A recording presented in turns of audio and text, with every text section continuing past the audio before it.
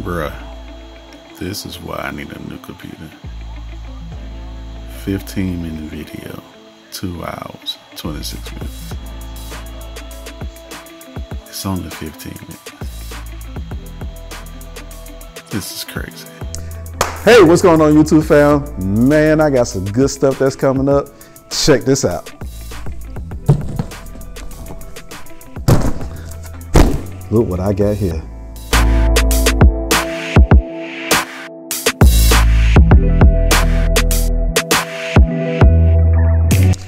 So you see what we got here?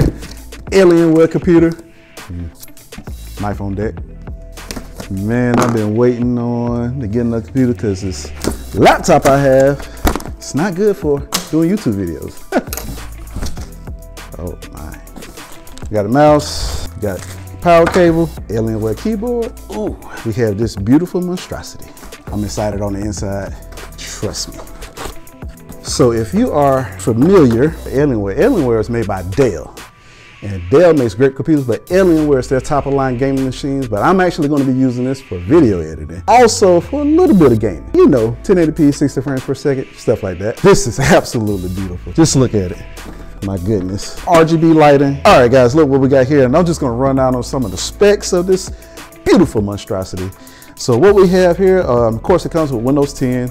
Um, it comes with the uh, 8th generation i7 8700. People who know about that processor is sweet. It has six cores, 12 threads.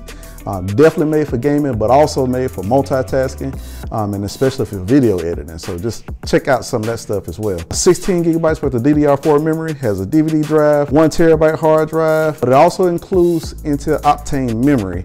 And I'll talk a little bit about that in a later video. Comes with a GeForce GTX 1070 graphics card, great for uh, video gaming, but also um, used by some of your top programs, video editing from Adobe, Premiere. Seven USB ports, uh, 3.1 ports, six USB 2.0 ports. Comes with killer AC Wi-Fi, so definitely allows you to be able to get up to uh, gigabit speed. Also has a gigabit port.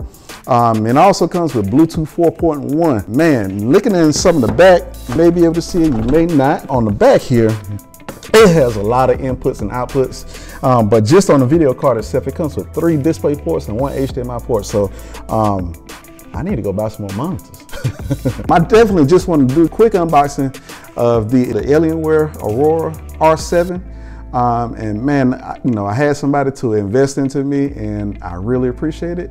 All right, guys, so one of the things that you know we have to do, peel this plastic off. But if I could just get just a little grip, I have no fingernails. So if I could just, oh, can you hear? Shh.